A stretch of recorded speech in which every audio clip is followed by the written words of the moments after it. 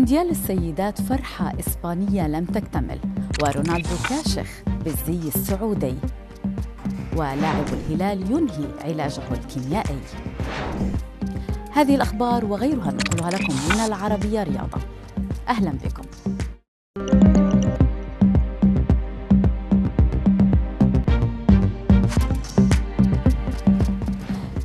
الوقت الذي كان فيه المنتخب الإسباني للسيدات يحتفل بفوزه لأول مرة في تاريخه بلقب كأس العالم.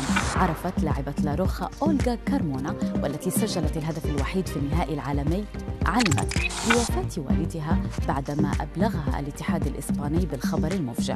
كارمونا بدورها نعت والدها في صورة على تطبيق إكس وهي تقبل الميدالية الذهبية معلقة. أعلم أنك منحتني القوة لتحقيق شيء فريد. أعلم أنك كنت تشاهد الليلة وأنك فخور بي. ارقد بسلام.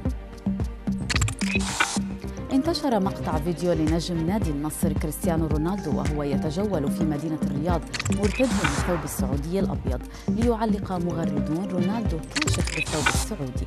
وكان فريق رونالدو النصر خسر في أول جولتين من الدوري بعد أن حقق بطولة الأندية العربية قبلها. في منشور على تطبيق إكس طمأن لاعب الهلال الكوري الجنوبي جانغ هيونسو الجماهير على صحته. معلقا أخيرا انهيت علاجي الكيميائي الرابع والأخير اليوم. وأضاف طبيبي قال لي إنه يجب أن أخضع للفحص المقطعي وأود أن أصدق بأن النتائج ستكون جيدة.